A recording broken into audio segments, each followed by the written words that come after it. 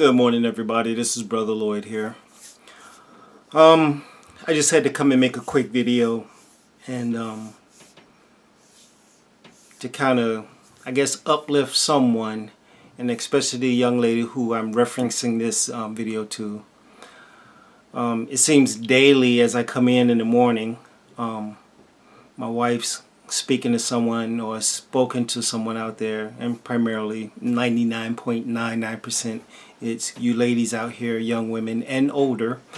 Um, and that's part of the blessings that we're receiving because um, we've asked the Father to send those who want some type of guidance so that we can lead you all back to Him and, and His Word and His truth. And He's been blessing us so. Um, at the same time, it's heartbreaking some of the testimonies and pretty much all of the testimonies that we um, listen to and talk to you all about. Um, but like I said, it's still a blessing because it's a start.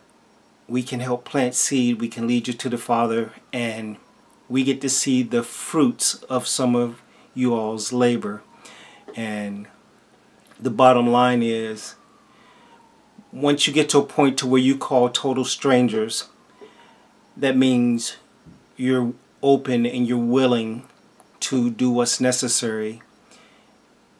If not completely, at least you're willing, but you have to find the strength to continue on once you um, start communicating with us. But my heart comes to you all this morning a little extra sad because the young lady that we've been talking to this morning, she's a minor. And she's been going through some things because of a really this this age old story of a broken family and and no support system. But she's a minor who's been in a situation where adult men are manipulating her and I don't even need to go into all the details of that. But she's reached out and we've given our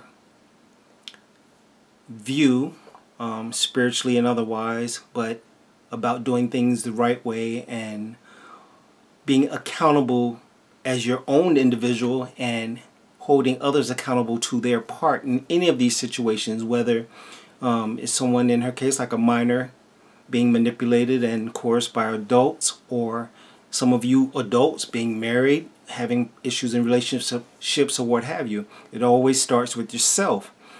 And um, we're just being prayerful for and we're um, hopeful.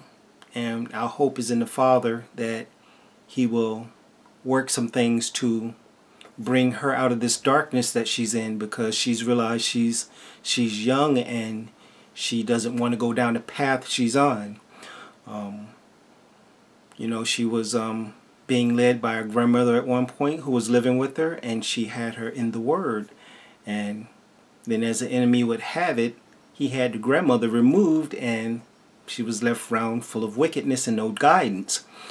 So, um, you know, it's the age-old story of the enemy um, putting stumbling blocks in front of people, and the younger and more naive you are, the better for him. Even with some of us older adults, we're old and naive, and that works great for him also. But, you know, I just want to come out and say that don't ever sit back, any of you, don't sit back and let the enemy drag you down into that rabbit hole of darkness um, to a point to where you can't come out. Um, daily events are showing us constantly that individually as people we're falling apart. The enemy is becoming stronger. His influence is becoming stronger. Um, I don't care what you believe. If you just look at the current events you see. And it's amazing how fast these things are happening, how out of control the lawlessness, the, the chaos, um, how everyone's falling apart. Even people in authority anymore can't maintain their decorum and professionalism and uphold the morals and, and rules of their positions anymore. Everyone's out of control.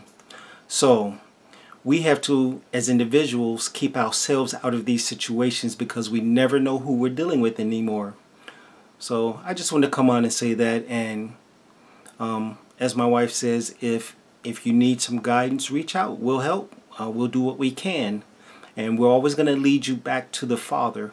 But in the Father's Word, He gives us a lot of practical and sound advice about dealing with the world and things of the world. So we're also going to encourage you and lead you there. But you have to be willing. You have to be ready to sacrifice and surrender all to the Father's way of doing things, or they won't get better. So, with that being said, this is Brother Lloyd. I'm out.